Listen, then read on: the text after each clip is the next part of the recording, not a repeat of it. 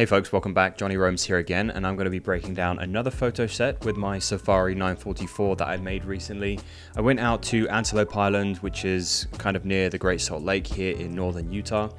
Um, and we had a really nice sunset that was going on and I found this really cool parking lot that was pretty much empty um, so I decided to kind of make a really nice set of some different camera angles and compositions with my Safari 944. We're going to be working in Adobe Photoshop on the web. Now I've been thoroughly enjoying using Photoshop on the web because it just allows me to have greater flexibility wherever I'm working, whether I'm at my own computer or if I'm traveling and I'm using somebody else's computer, I don't have to worry about whether or not they have Photoshop installed and I have access to all of my cloud saved photos as well so I can just continue and edit from wherever I had stopped and I can have access to almost everything that full-blown Photoshop has to offer straight from my browser. So I've already made some base edits in Adobe Lightroom. Now we're going to take over these photos into Photoshop on the web to make our final adjustments and really round out these images and also clean up some distractions that we have going on here.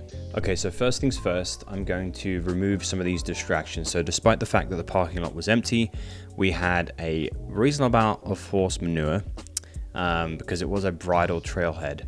So we're going to go and use the uh, retouch remove brush um, and we're going to zoom in to our photograph. I'm going to make the brush just a little bit larger. And then just going to brush away. And we can change it to remove after each stroke or um, continue going on. So I'm going to turn remove after each stroke off as that will allow me to continue brushing.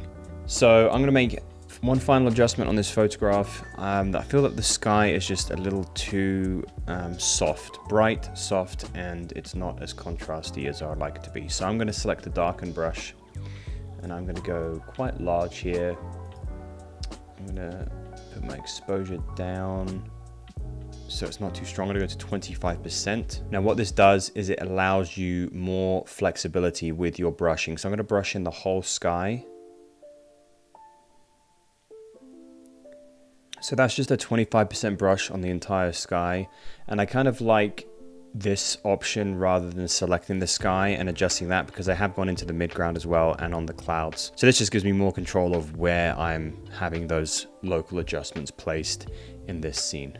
Here's this photo after having applied those edits. Okay, next photograph. This is a composition that I really like. This kind of, um, in my automotive photography, just kind of coming on a higher angle, looking down on, you know, the passenger side fender or driver's side fender.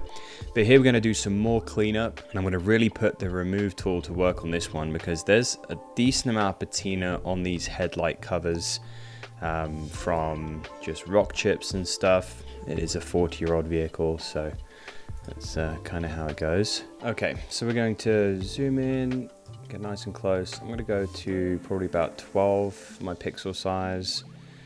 And then I'm just going to select every single rock chip. This gets a little tedious, but it makes a huge difference after all said and done. Now we can zoom out and admire much cleaner headlight covers. I've noticed a little blemish here I'm going to go ahead and clean that up as well. Slightly larger brush. Remove that one. Very nice.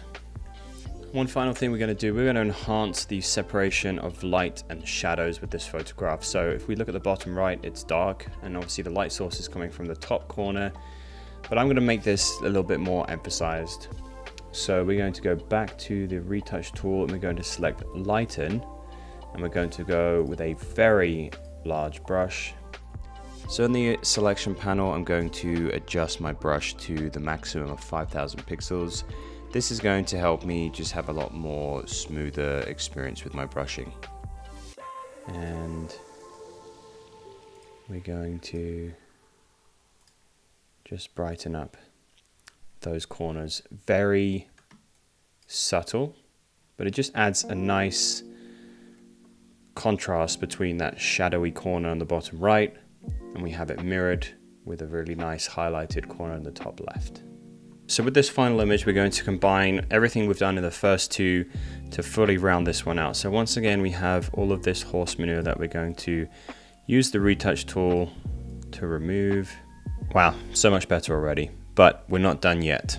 What I want to do next is use the darken tool on the foreground. So we have these really nice flowers that are nicely blurred out, but I just want to darken it a little bit more to create more separation between the foreground and our midground. So I'm just going to brush in here. And now I'm going to do the exact opposite on our light direction, which is coming from the top left. I'm going to drop the exposure down on this one to about 25% once again. And we're just going to brush in toward the car just ever so slightly. And I'm going to drop it down even further to 12% just to kind of continue on to the top part of the frame.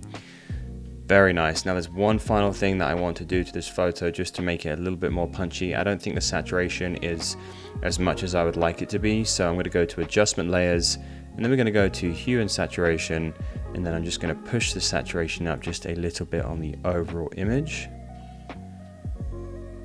Then I'm going to come down to the reds. And I'm going to increase those as well just to make that foreground stand out a little bit more. And then one final thing is with the blues. I feel like the blues are leaning a little bit too much toward purple. So I'm going to drag those toward teal just a little bit and increase the lightness as well as the saturation. And there we have it. Our final image to round up this set. And here we have all three final photos together as I had intended for this photo set.